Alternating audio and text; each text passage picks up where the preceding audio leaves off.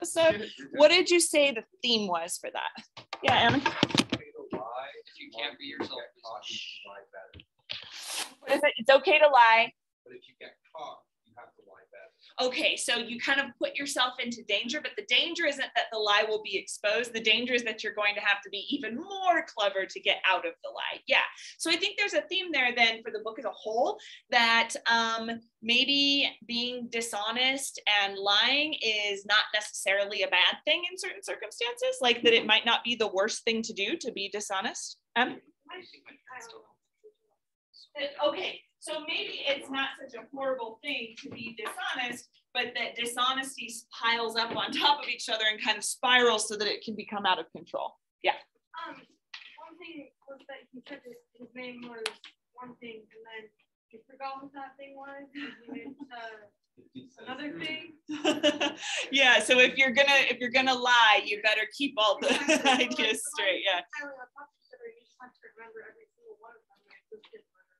All right, good. I like this because it's kind of like it's not necessarily giving like too much of a moral to lying. It's not saying don't lie, but it is saying how you can be a good liar. That's part of the theme. Yeah, Bella. I feel like a good theme for that would be like lying isn't the easy way out. Like it can actually make things harder. All right, cool. So it's like the truth is better. yes. So I think maybe sometimes. Yeah. Thank you. Sign.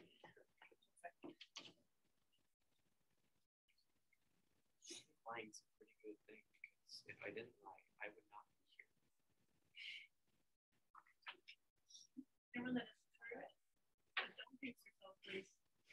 I'm still in this class because I lied about my grades.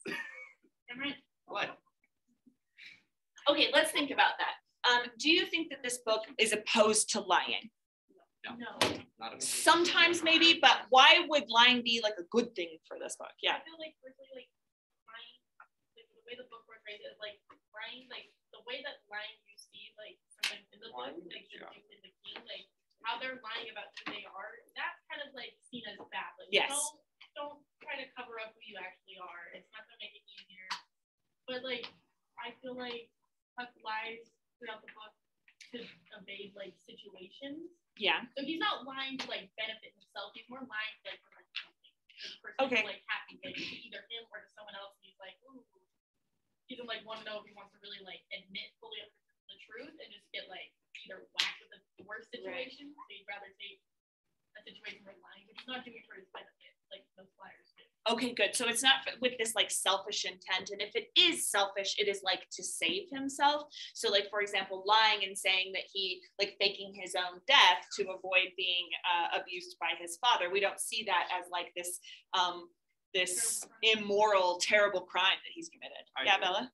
I think it kind of portrays lying as like a, a necessary evil. And Yeah. if you can morally justify it, then it can be okay. But if you can't morally justify it, and if it's like you said for like your own selfish gains and nothing more, Yeah. then it's seen as bad. Or if it's like harming other people. Right. But if it's just like lying about your identity, yeah, so that you don't get something like that, like that's kind of like a morally justified, or like lying for the sake of like, um, to try to genuinely help somebody, but they won't fully believe you if they tell the truth or something like that. Yes. Like those things are like morally justified lies, and therefore they're seen as good or at least Excellent. So it's like this way of saying that there might not be objective, universal truth, but that for every situation, you have to determine whether or not it's okay to lie in that situation, right? And you're saying that, like, sometimes if it's done for the benefit of other people, it would actually be the moral position to take. It's not just a neutral position, but when he lies to save Jim's life and to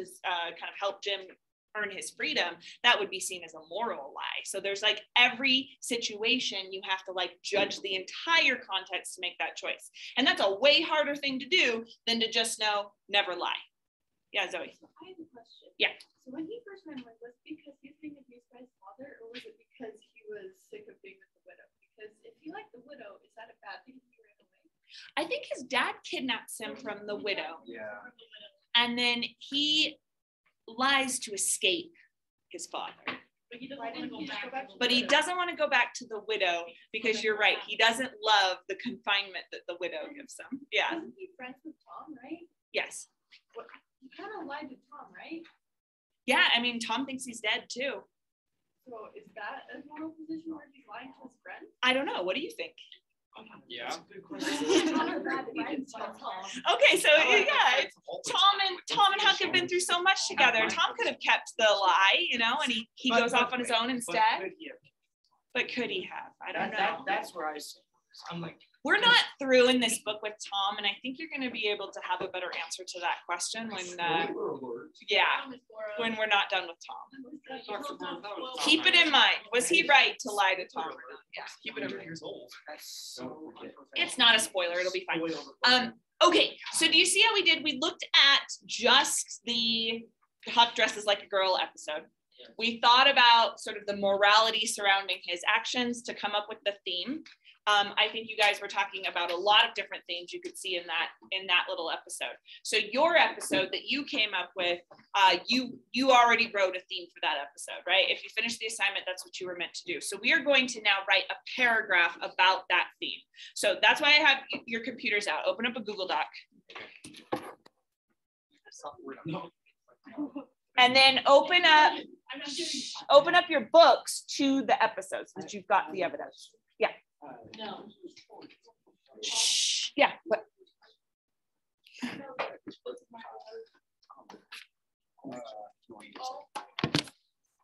It's, it's a full, I got it from. Thanks so Um, have you ever, when we did the transcendentalism unit, have you ever had someone refuse to write an essay on that?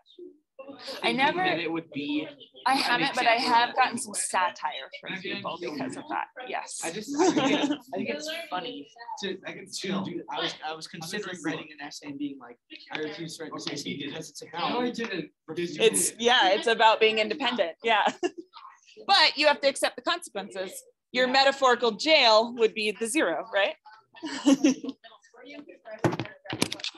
But you earn my respect. No, no, you look like.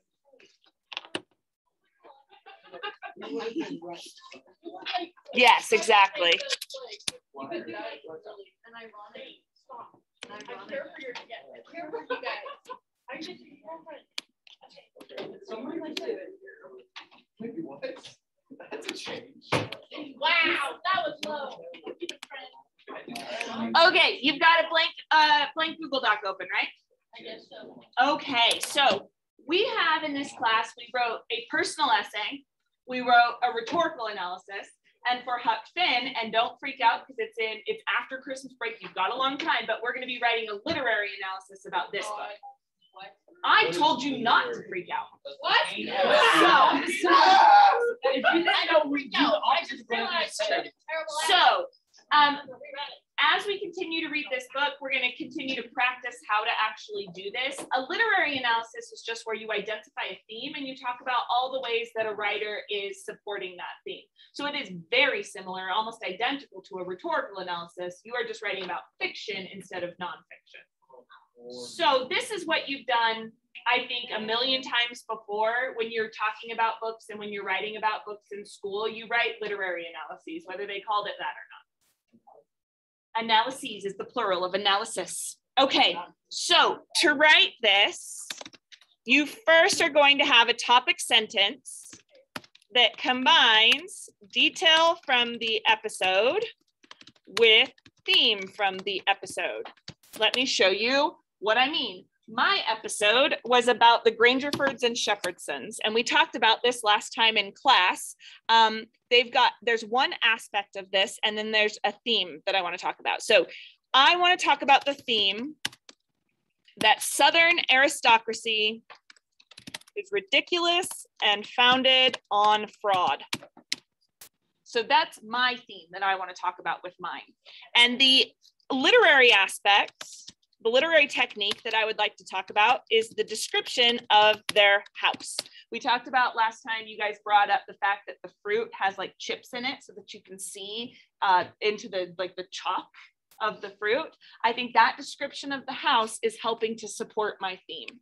So then for my topic sentence, I am going to write uh, Twain shows that Southern aristocracy is ridiculous. Ridiculous.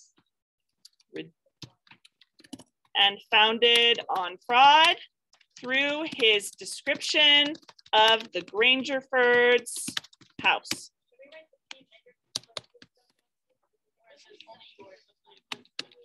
This is an example. This is mine. All right. So, so do you see here how I've combined then my theme and the one literary aspect I'm going to talk about in my paper? Now you are going to do this for your episode. So think about um, the theme that you had for your chosen episode and write one aspect in the text that you think supports that theme. Yes. Can we talk with our groups? Can we talk with our groups? Yes, you can talk. If you did it in a group or with your partners, you can talk with them, but everybody has to write their own. So no one should look identical. Okay. Oh, yeah, yeah. Yeah, if you'd like to grab your episode because you've forgotten, you can go grab it. It's in that pile. Wait, what? You guys. All right, I know people are going to grab their episodes. I am only going to give you three minutes to write the topic sentence. So this is just the first sentence, um, but I want you to do this based on what you discussed last time. So you won't need a lot of time to get new information. You forgot. Yeah, I do. I need someone to read my cartoon.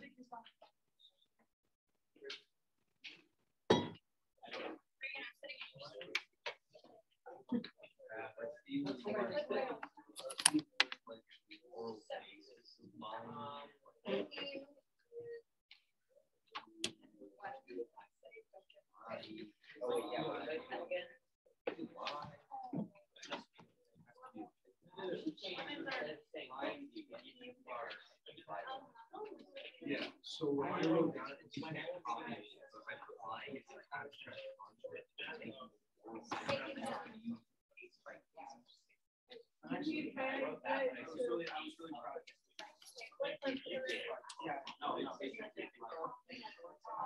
Great. All right, good, good. Okay, I go back to.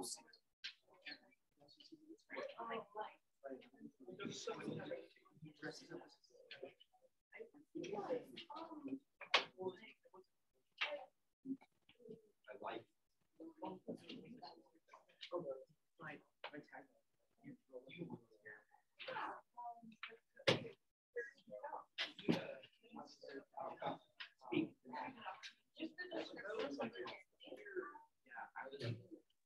What? It's still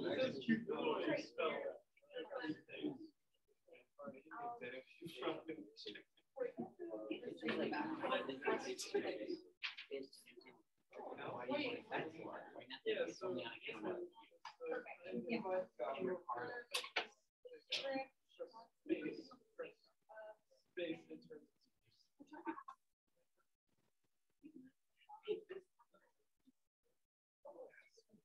I'm gonna give you one more minute to write that topic sentence. Yeah, I, I mean, I'm gonna move on and explain the next part, but then I'm gonna give you time to write the whole thing, so. Yeah.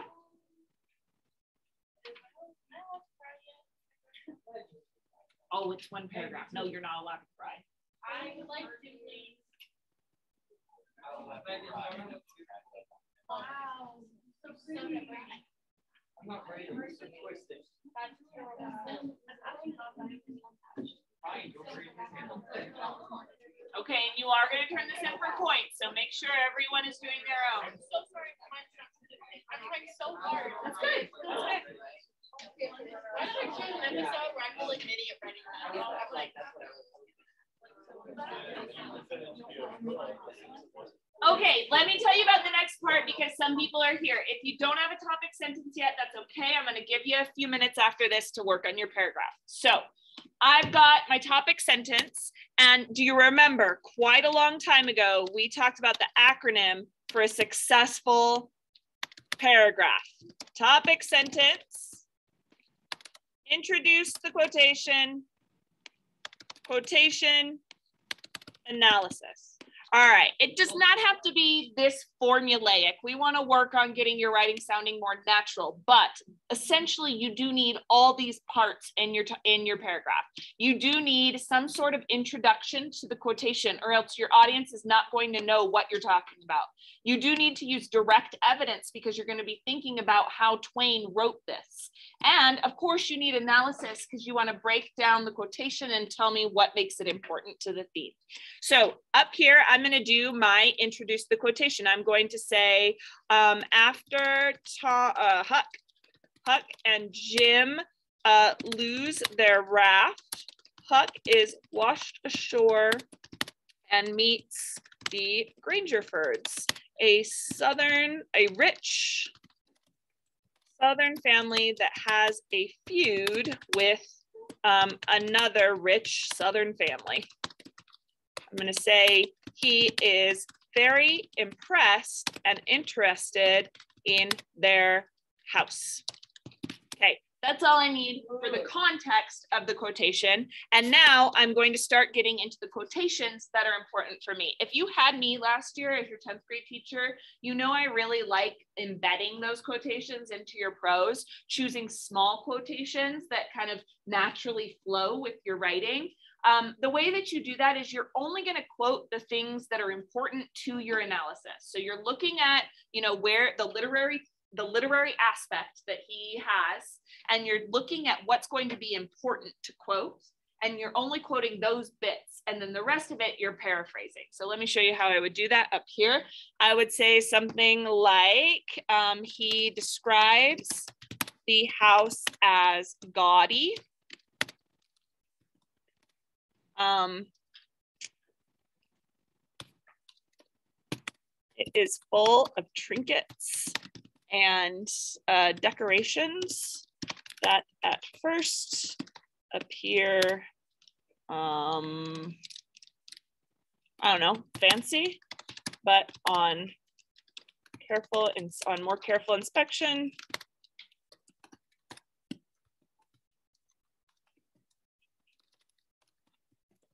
feel their fakeness. I don't know. These aren't great words, but tackiness. Okay. For example, the fake fruit is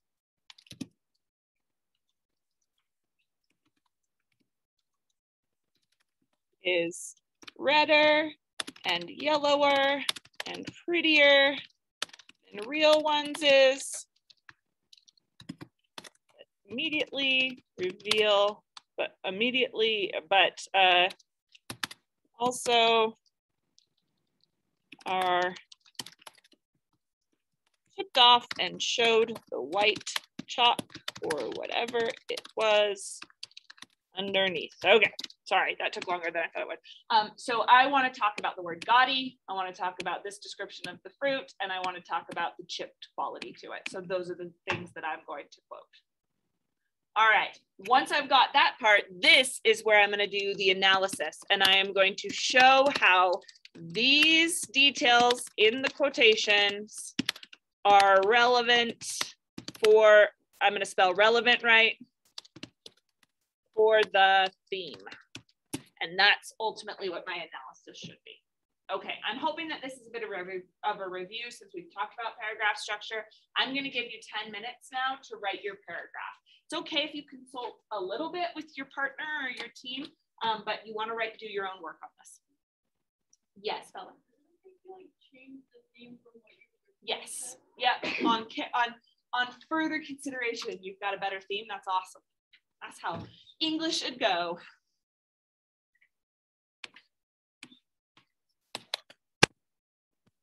I'm going to keep working up here. So if you get uh, lost on what you're supposed to do, you can glance up at the screen.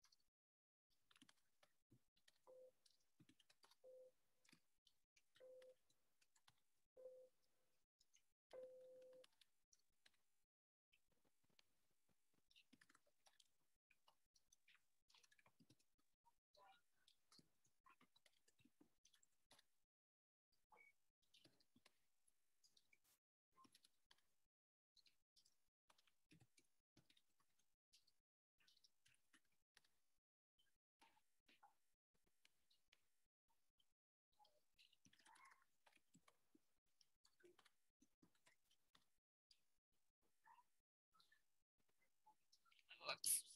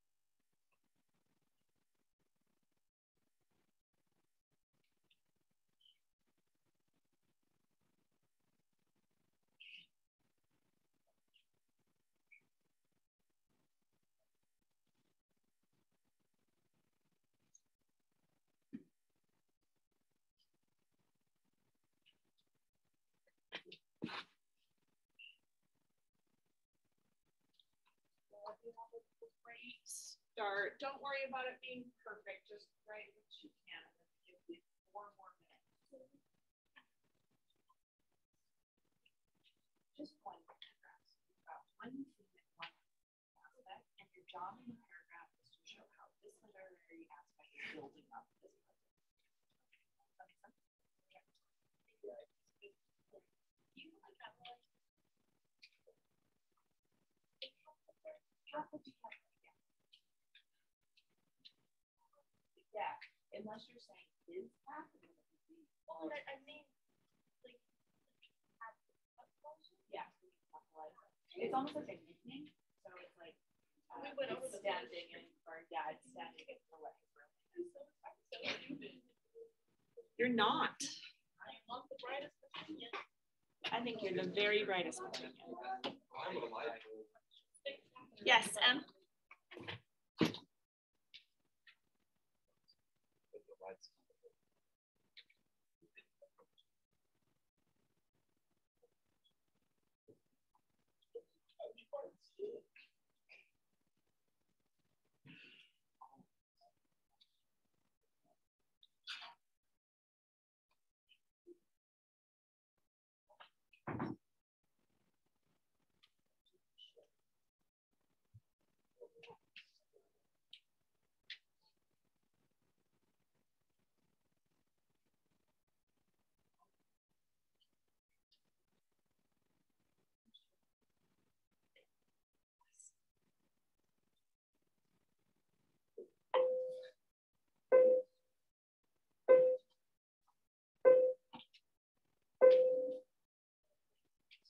As you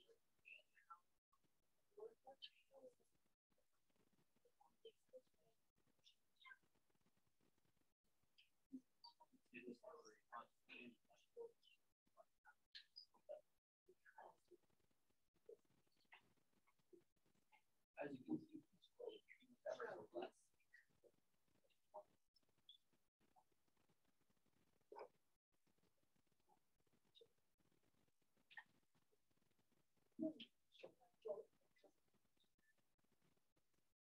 how this is.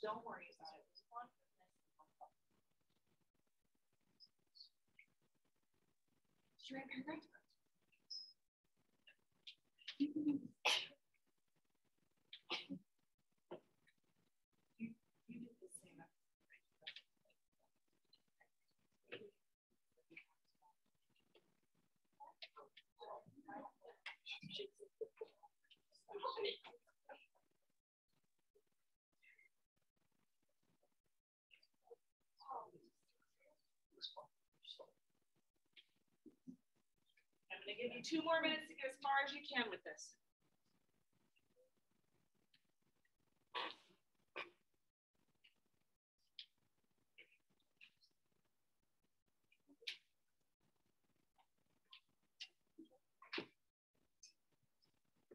In fact, I'm gonna run to the restroom. When I get back, I'm turning it in. What? What, what, wait, no, are we supposed to Wait, wait it two just one paragraph? Just one paragraph. Oh. So you're just writing one paragraph about one theme and one literary aspect from your episode. One literary. Okay, I'll be right back.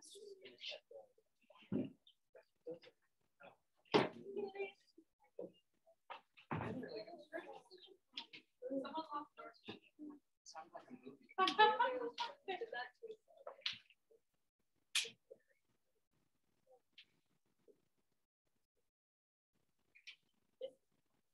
Hi.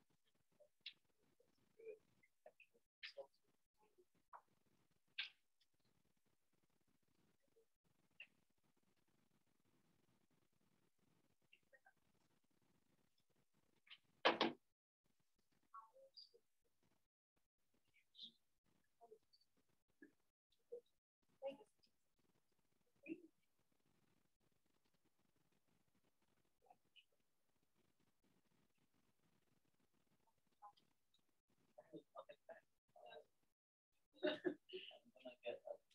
do the whole dog thing. The word ramble. Ramble. Okay. Yeah, no. I'm like, it's adore.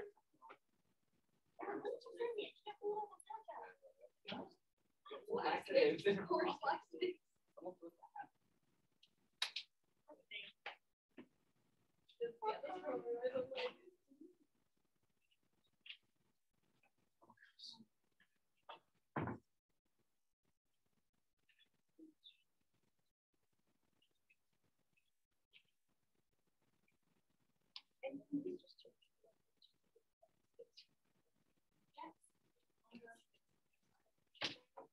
I remember.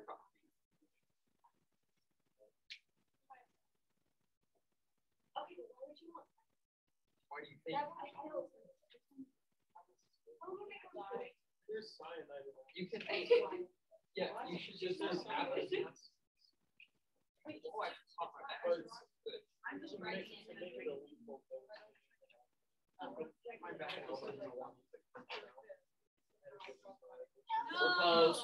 we're. You can commit.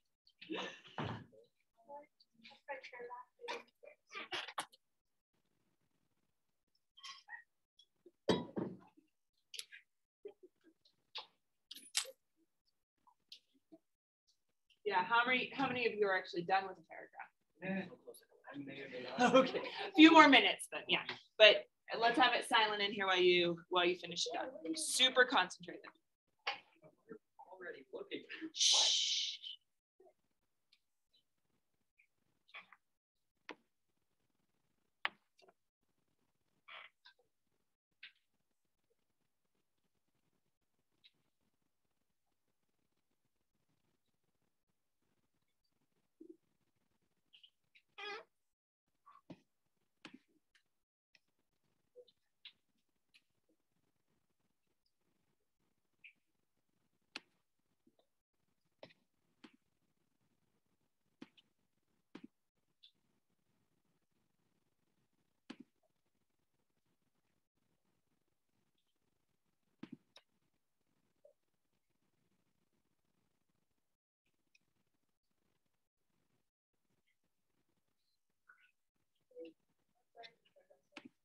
I'm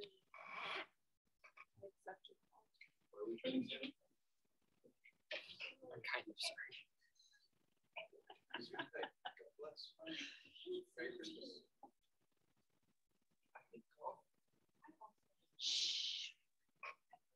Super focused to get done.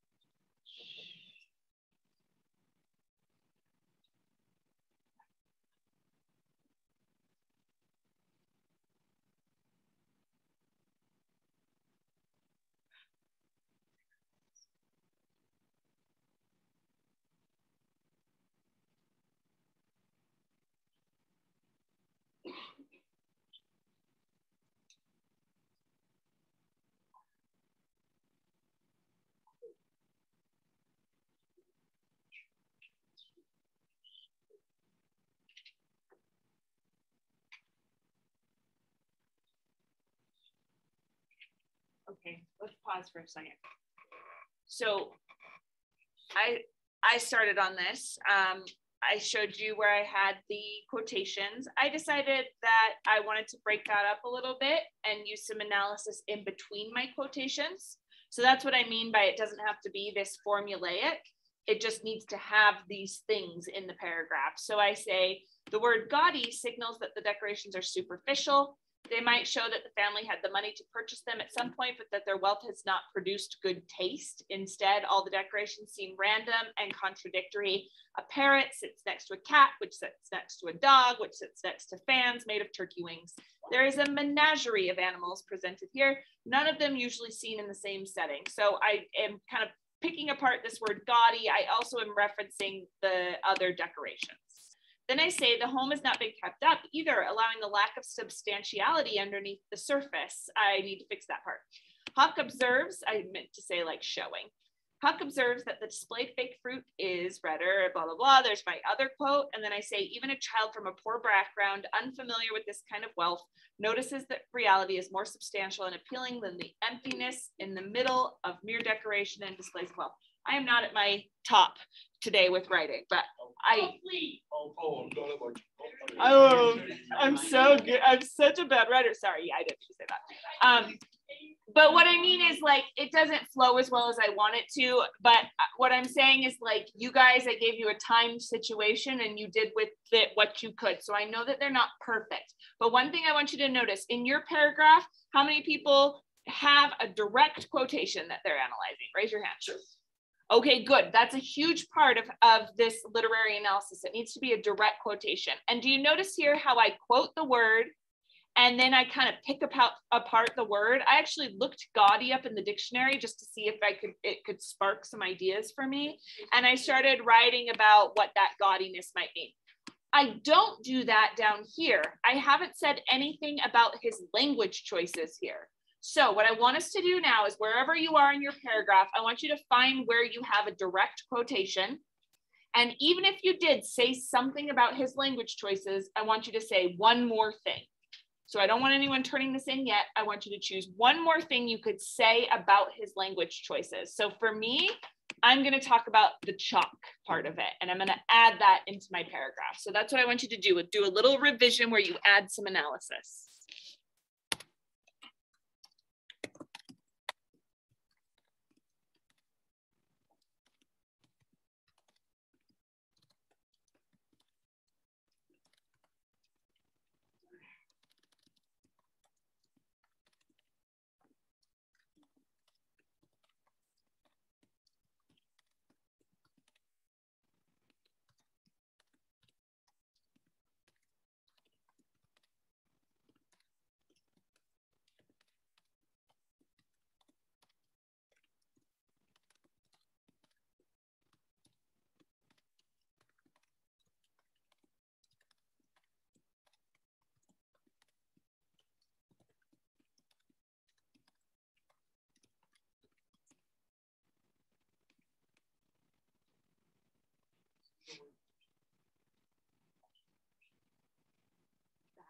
Disagreements.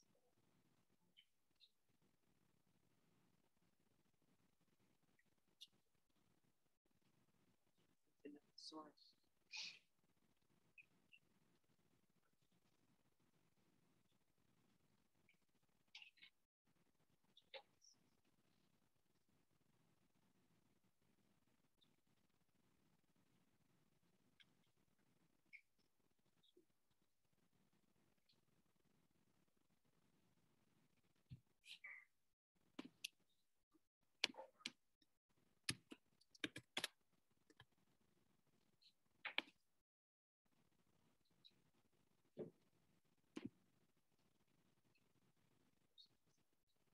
Ooh, a scrap, a dispute.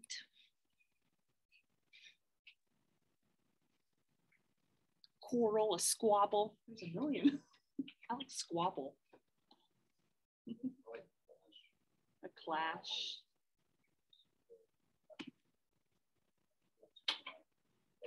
Enmity, a fracas. Rivalry is a good one for the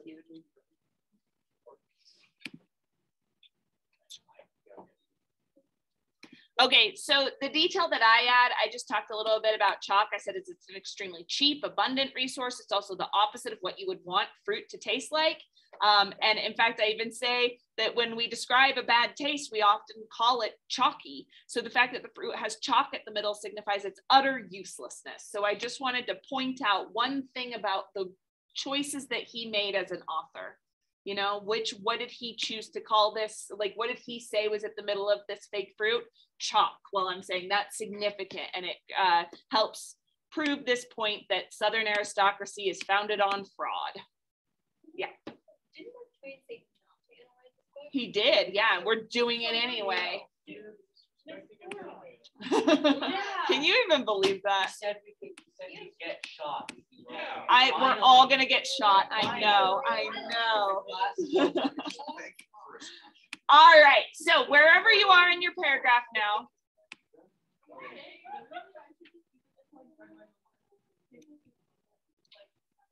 That is exactly what you should do to write your normal essays. That is what I am getting at.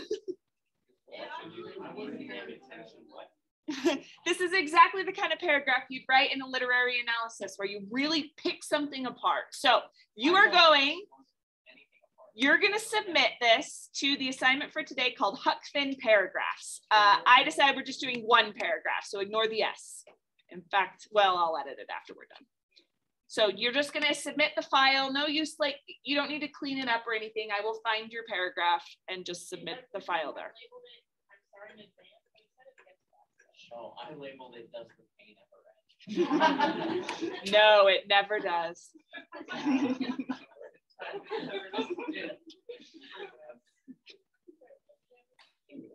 No way. There's no way. Yes, way. No, you didn't. I did. What did you do? I just kicked his butt. That's all. That's I Not did. yet. I still. No, he doesn't. Fry. All right, I'm going gonna give you one minute to get that submitted. I'm, I'm calling it. You gotta be done with the paragraph. It's okay if it's like mid-sentence even. Know you were working on it. Submit it.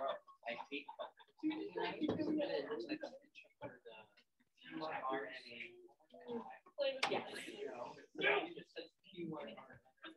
Yeah. Yes, whole. You what? Trust me, I don't want but we got. You should just do like a giant spatula. That's, yeah. That's No, like, like, like a Mr. throwing Davis board.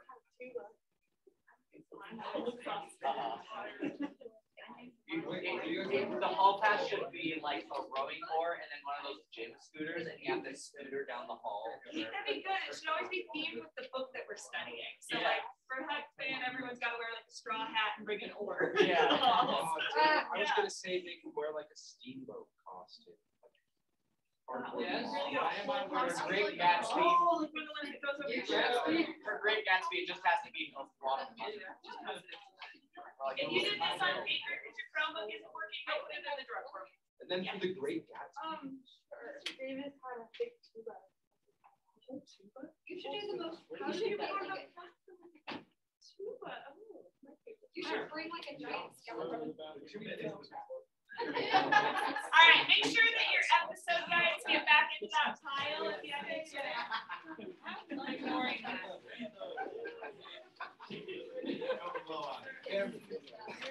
For the Great Gatsby, it should be just like a live cat, and its name is the Great Cat. Okay, and then everyone's got to find their way back to a seat because we're doing an activity here. So I actually, are when I need to come sit here. Do we still need our phone? Okay, no, let me uh, start from the beginning. Clear your desk of everything but a pen or pencil.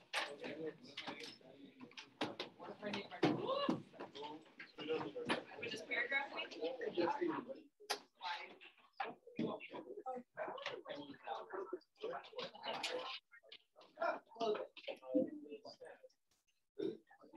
Yeah, as, as we go and then Gabby, I also. need her to sit here.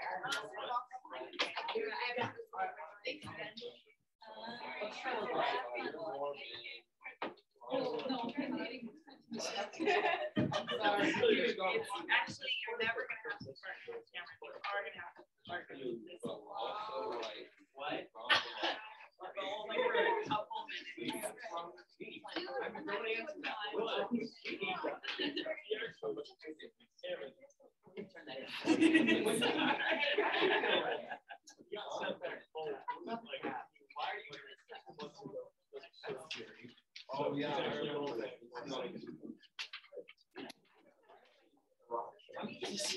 Okay, everyone needs, so just on your desk, we're gonna be moving desks. So on your desk, all you need is a pen or pencil and this white piece of paper. I just want.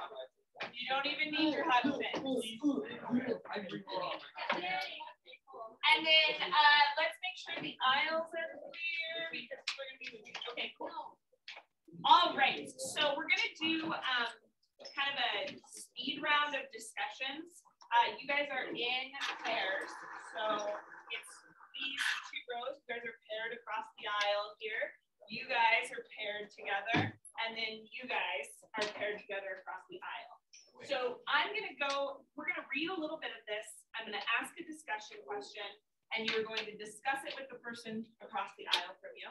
And then you're gonna make notes in the margins of this. We're doing like a guided annotation. So the first bit of this.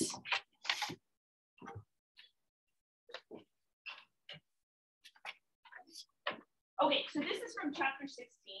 Um, this is really where Huck is starts like thinking about his own morality a lot.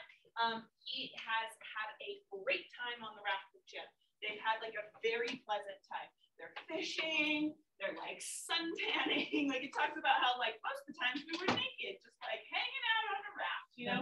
so it is like as free as you could be. Oh my god. Um, they talk about how they talk about how they go through um they, they're traveling at night, right? And they'll just see like flickering lights or hear like a little bit of talking in the distance, which I don't know about you, but that's like a very comforting sound, I think, when, you know, there's like some sort of like kind of distant murmuring, you know, it's like this ASMR type thing where people are like, they're kind of like being lulled into this nice, like, um, it's called pastoral, but we'll do that next time, like this really nice, like, connection with nature. All right. But then Huck gets to thinking, and that's in this section. So it says, it was Jack, it says, but it weren't, we're skipping that. It was jack o' lanterns or lightning bugs. So he sat down again and went to watching same as before. Jim said it made him all over trembly and feverish to be so close to freedom. Well, I can tell you it made me all over trembly and feverish too to hear him, because I begun to get it through my head that he was most free, and who was to blame for it? Why me. I couldn't get that out of my conscience. So how, uh, no how, nor no way. It got to troubling me, so I couldn't rest. I couldn't stay still in one place. Um, let's stop right there. So in this first part, he repeats that phrase, trembly and feverish, twice. With uh, your, oh yeah, you know how one, sorry. Um, with your partner across the aisle, I want you to talk about how these two emotions, even though they're written in the same way, are different. What does it mean that Jim is feeling trembly and feverish, and what does it mean that Huck is feeling trembling and feverish? So you're talking to your person across the aisle.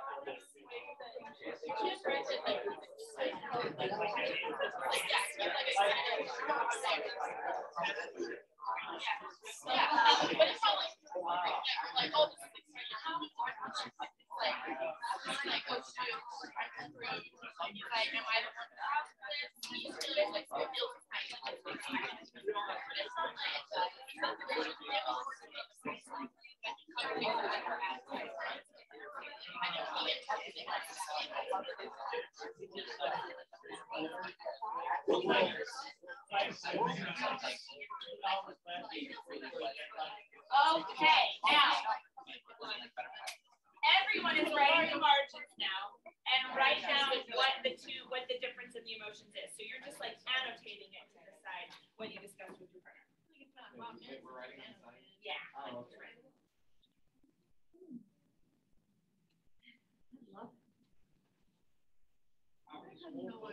You look at it and you see like, No, that's. You read the book and you're like, I've got that.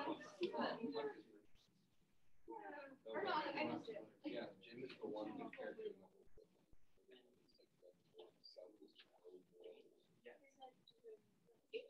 okay, so you're just writing to the side really quickly. We're doing this fast, so in 20 seconds or so. Okay, fine.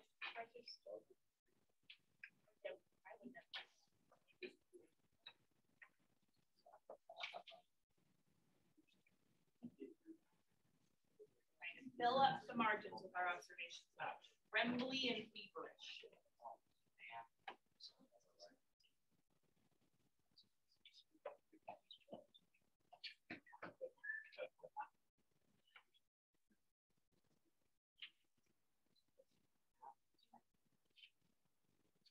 Okay, all right, you gotta pay attention to me now. These two desks are not part of this. You're not sitting here. This row is moving up one. So Tyson will go back and everybody else will move up one, not to these desks. These are off. This row right here, you guys are gonna move up one. So Isabella, you're going all the way to the back. And then this row right here is moving up one. Gabby, all the way to back. Okay. Everybody else stand up. Oh, so I'm going back. No, no, no. Sorry. You did it. Okay, next question. You stay. We're gonna read. How low do you think of us, guys? You did it. All right, write down, so we're gonna keep reading. It said, um, it got to troubling me, so I couldn't rest. I couldn't stay still in one place. It hadn't ever come home to me before what this thing it was that I was doing, but now it did, and it stayed with me and scorched me more and more. All right, with your partner, I want you to talk about what the meaning of the word scorched is.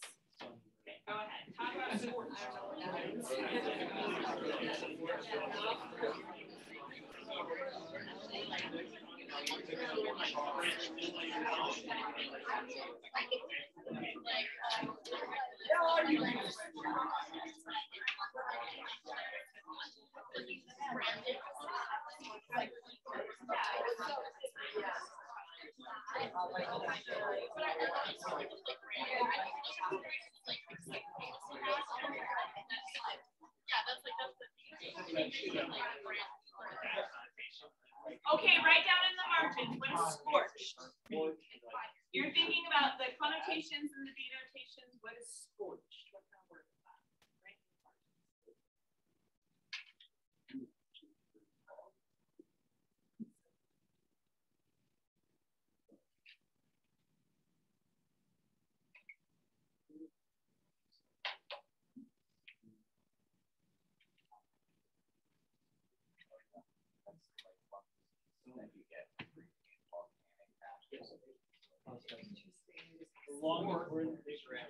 All right, same rows, moving the same way. So every other row here is moving up one. And.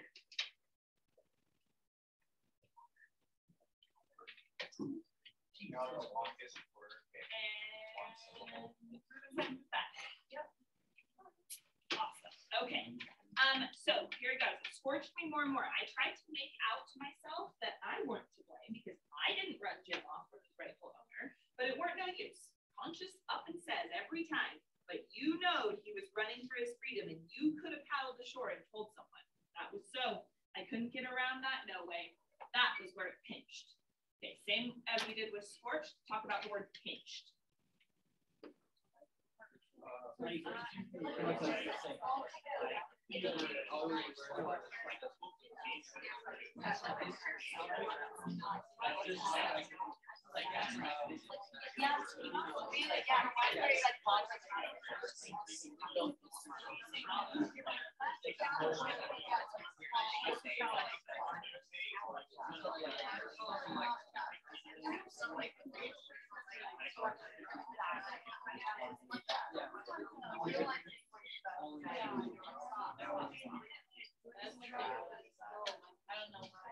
Okay, write down some of the connotations of pinched in the margins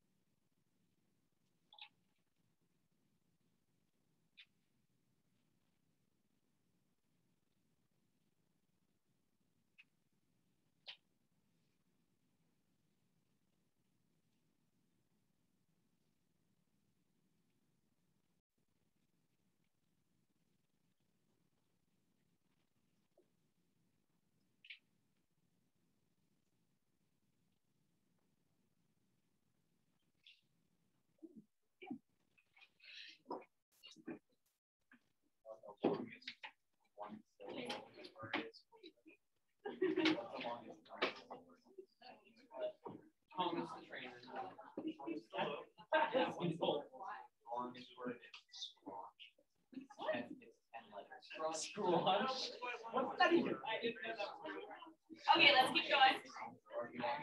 So that was where it pinched.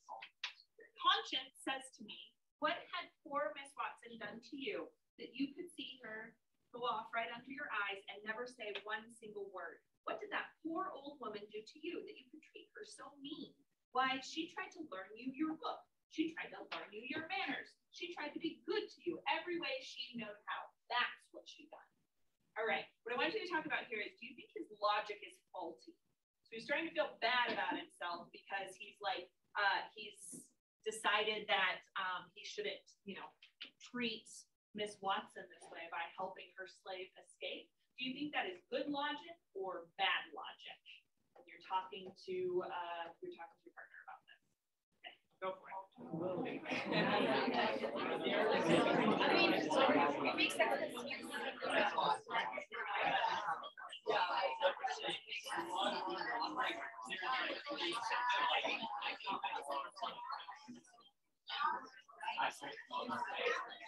I'm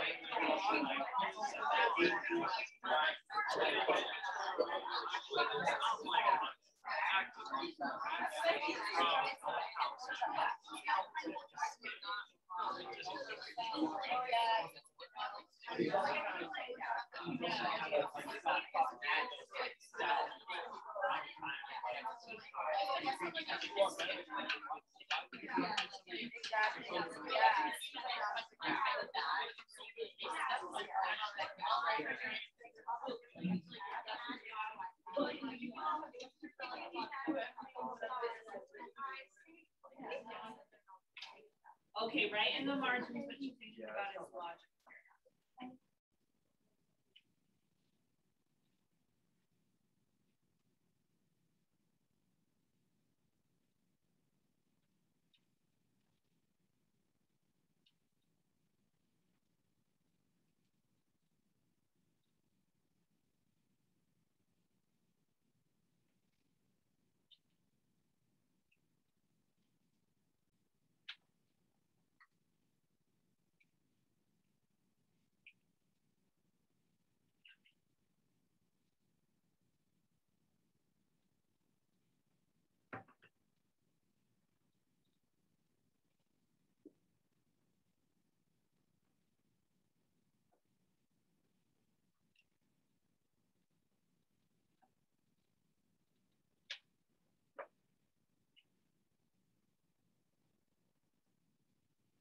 Before we move again, what did you think about this part of it? Like with this faulty logic? I thought that it was like bad logic because um, he doesn't see the bad of slavery. He doesn't see like what happens. You know, he's just seeing it as like I stole something from this person that I trusted. I think he's very concerned with his morality. He cares about it. He wants to be free, but then he somebody who wants to be all these. Okay, so his logic here is like he thinks that um, he's accepted the idea that human beings are objects. Um, and so he, if uh, he's hurt a human being, Miss Watson, by taking her object, then he should be moral. Jeff?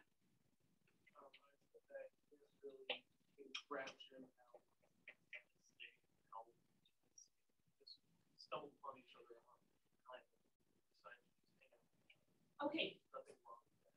So maybe there's something wrong here that he's taking personal responsibility for something that he shouldn't take personal responsibility for. Okay. I think I think it's the fact that like a lot of people like kind of think like trying to I know her personally, trying to take care of me and trying. I think it's also still at the point of the child where you think like I'm screwing this person over. Like Yeah. like that's like the child view to like sees it as like I'm screwing this person over, but at the same time he didn't think about it really. He's not Until, thinking like- about the greater Yeah, he doesn't think like something the greater. small. Like he only started to think about it like what he's done, like what he's done when Jim like mentioned like I'm so close to being like. Okay, good, good. So to go back to Jeff's point here, it's like he's thinking about his own personal responsibility, but what he should be thinking about is the greater evil of the society. Um, and So I feel like logic's off because she taught him um, all sorts of things and he's feeling guilty because he taught him. But it is like she gave him an education, but she also took away his entire like existence and being.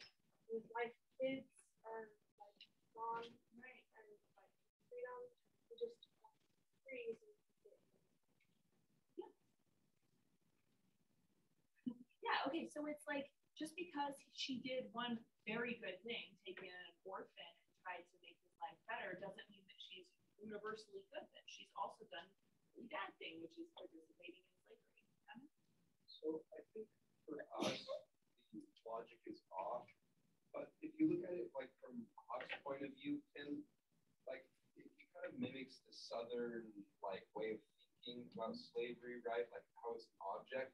How can we not take personal responsibility for it? You know what I mean? An object just can't like disappear or run away. It's not Toy Story. Yeah. So I think it kind of mimics like the whole like um white control view that the white people need to take personal responsibility for the people that are under them that like built their society on like the acts of slavery. So it, it, it almost like symbolizes that relationship between okay, he may have done this by himself, but I'm responsible for it because I'm the white. Oh yeah, that's a great point, right? That he's um he he might not be seeing it in the terms that Frederick Douglass describes when he's saying that like, oh, white people think that the slave is better off in slavery, but he is seeing that relationship as one of control and one of responsibility. So he thinks even though he's a child and Jim is a full-grown adult in his 30s, really, um, here, because I mean, he has kids, here Huck is then the one taking responsibility because I am the white person who I should be responsible. All right, we got to move on from this point. Let's keep coming back to this idea, though. I'm sorry. So you're like, what about me? Sorry. Um, we're gonna come back to this idea um, because it continues on this track. So move once again.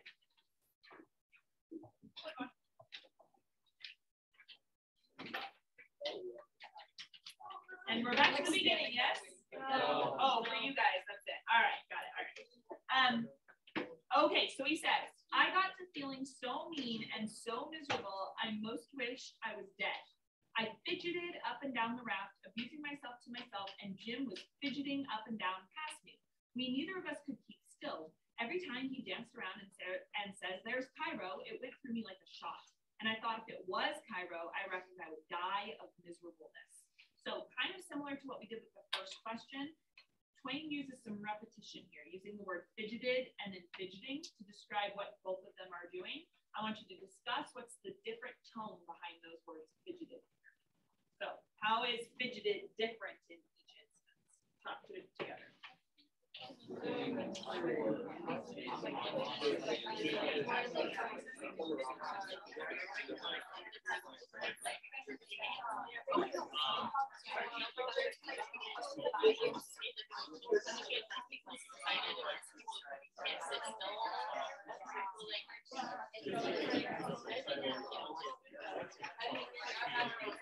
it, the way you said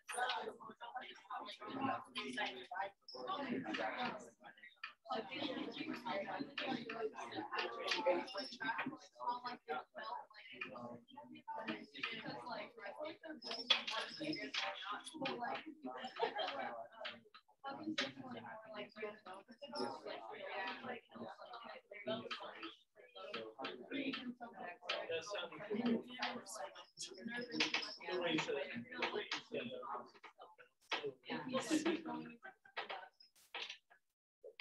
Okay, write down in the margins what you guys said. As you're doing that, I just want to point out, I, I didn't say it this way, but how he fidgeted fidgets up and down the raft and Jim fidgets up and down past me. There's this way that it's sticking with this idea of Huck thinking about objects Jim thinking about maybe something more than just objects. Just in the way that he, it talks about the relationship. So Jim is fidgeting past Huck, like in this way that connects Jim and Huck together, so that Jim might be thinking about a relationship there, whereas Huck is fidgeting up and down the raft. Huck is thinking about the physical objects. I don't know. I just want to.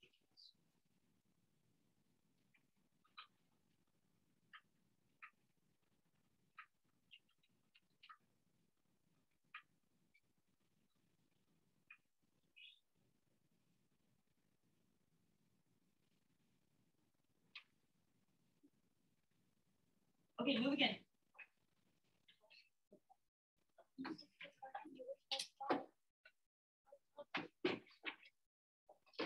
All right, it keeps going. It says, Jim talked out loud all the time while I was talking to myself. He was saying how the first thing he would do when he got to a free state, he would go to uh, he would go to saving up money and never spend a single cent. And when he got enough, he would buy his wife, which, we, which was owned on a farm close to where Miss Watson lived. And then they would both work to buy the two children. And if their master wouldn't sell them, they'd get an abolitionist to go and steal them. It most froze me to hear such talk. Okay, like Huck feels in this, he's frozen. He's like, oh no, what have I done? He goes on to say, like, it's not just, uh, you know, freeing one slave, then it's going to end up freeing four slaves, which, like, oh no, what have I done, right? We, as the reader, feel differently. So, how is the reader supposed to feel? This is what you're discussing. How is the reader supposed to feel reading this information about Jim's family and how Jim's talking about family? Okay.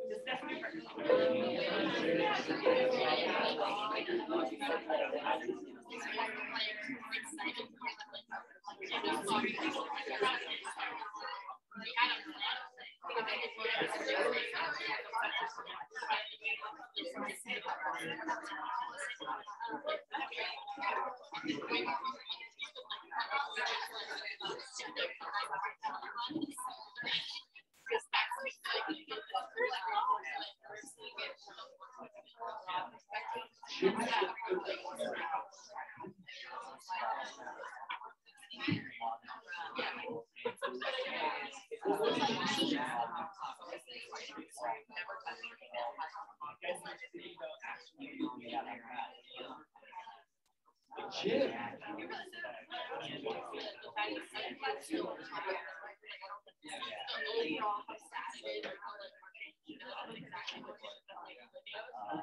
write down in the margins. How are we supposed to feel when we hear talk?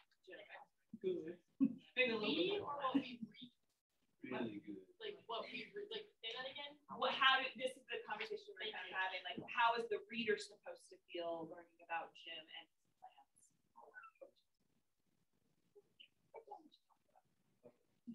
Wait, supposed to or how would you? Like, is he trying to make us feel a certain way? I think the way you feel when you hear Jim talking about his family, where you're like, oh my gosh, there's so much more at stake here. Like, I want him to free his wife. I want him to free the kids. Like, it, it is terrible that we're even talking about this situation. I think that's how Mark Twain wants us to feel. that Okay.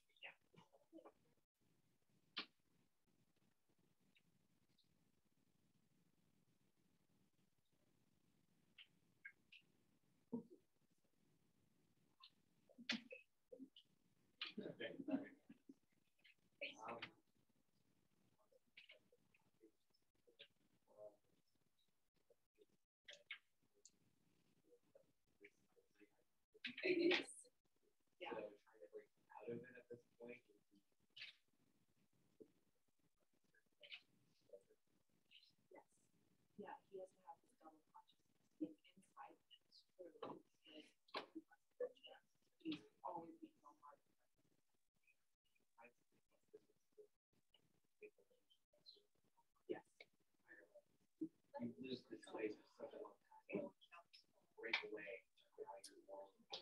And now what are you?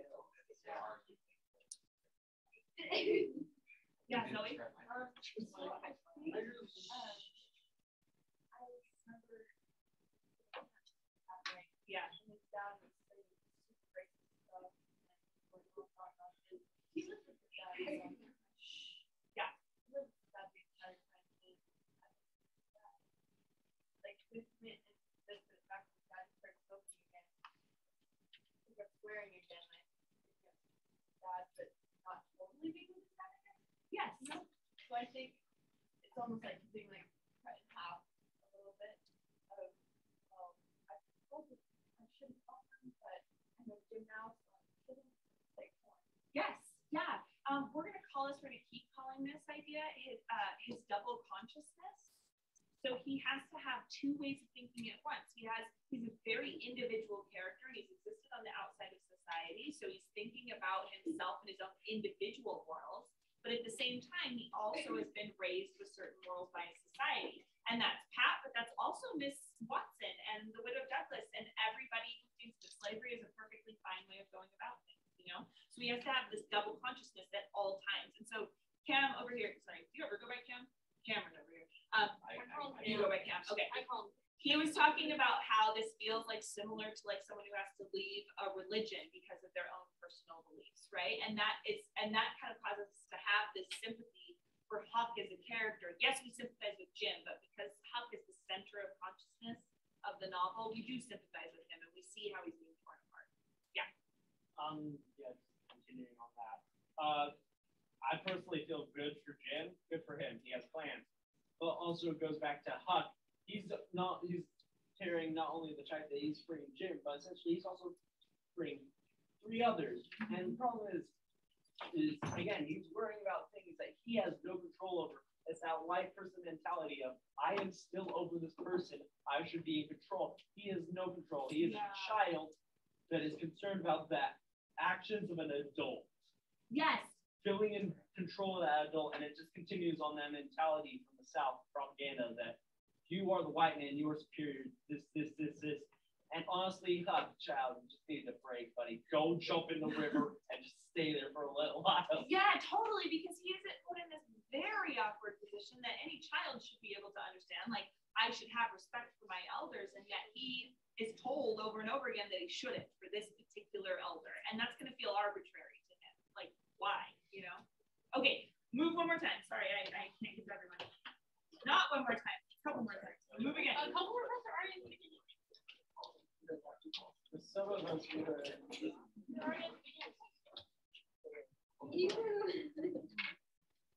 Okay, so it goes on.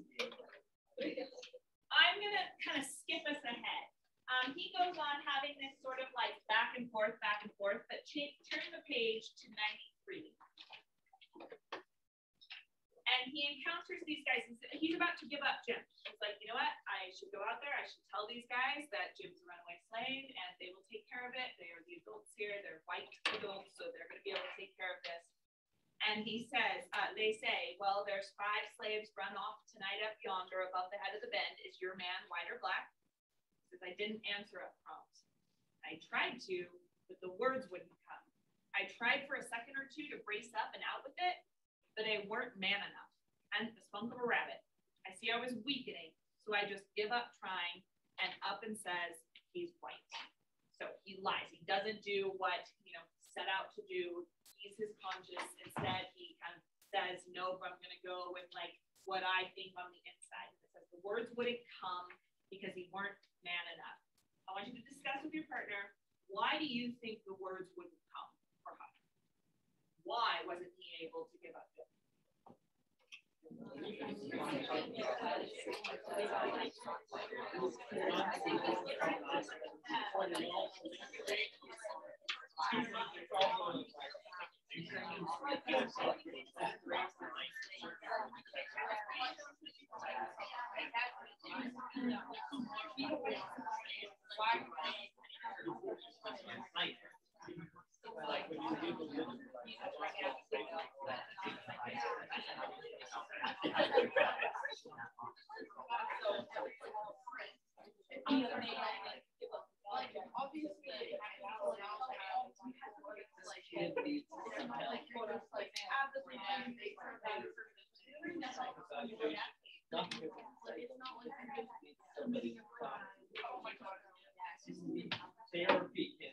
Okay, right down in the margins, why can't uh, give him up? Is it because he's not man enough or is it some other reason? Last head's like a.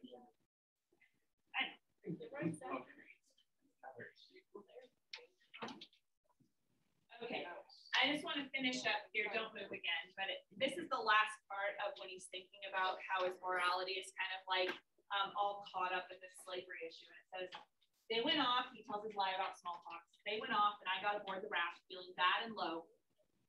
Oh, sorry, did everybody get one of these things passed back to him? Oh, Walker, did you pass them back? Okay. It says they went off and I got aboard the raft feeling bad and low because I know it very well I had done wrong. And I see it weren't no use for me to try to learn to do, uh, learn to do right. A body that don't get started right when he's little ain't got no show. When the pinch comes, there ain't nothing to back him up and keep him to his work, and so he gets beat. Then I thought a minute and says to myself, hold on, suppose you've done it right and give Jim up. Wouldn't you feel better than what you do now? No, says I, I'd feel bad. I'd feel just the same way I do now. Well then, says I, what's the use you learning to do right when it's troublesome to do right and ain't no trouble doing wrong and the wages is just the same. I was stuck. I couldn't answer that. So I reckon I wouldn't bother no more about it. But after this, always do whichever comes handiest at the time. All right, you got 30 seconds. Oh. You don't. As you're leaving, think about this. Do you think Huck came to the right conclusion? All right.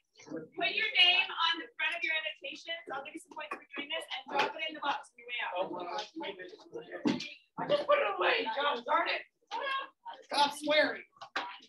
I said Josh. As I said, stop swearing. That's wrong. That is sad. I don't want you swearing like this, okay? Don't answer that. Don't say that. Like you're already past the- No, I don't need the little sheet I just talked about. I just need the big one. Uh, you- Even though I understand the like. Well, you're doing it. Wait, I'm gonna write that. I'm playing again. So I'm James. Wait, I like how it's- I do too. Or Roger. Oh, it is a drawer, yeah. Oh, thank you.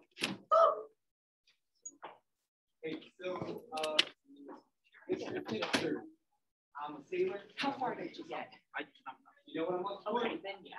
Yeah, I- I agree, money. Well, you're looking to spend money. Exactly. Okay, I am hoping you heard me at the front of the room so that you're able to complete that assignment. You're just annotating it on your own. Let me know if you're not able to hear.